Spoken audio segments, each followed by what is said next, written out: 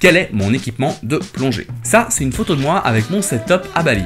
Il m'a fallu pas mal de temps pour trouver le matériel qui me convenait, et je vais vous en parler. Premièrement, mon masque. Alors, soit c'est un X-Vision de chez Mares, soit c'est du Cressy. 2. Mon détendeur Legend. J'adore ce modèle. 3. Mon gilet stabilisateur. C'est un Scuba Pro X Black. Encore aujourd'hui, je suis impressionné par ce gilet qui ne vieillit pas.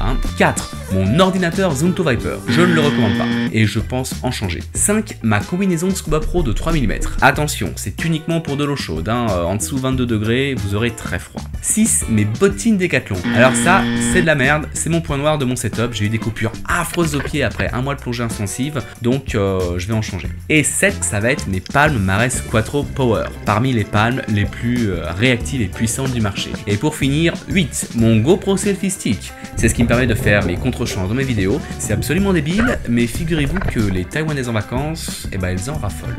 Voilà, maintenant vous savez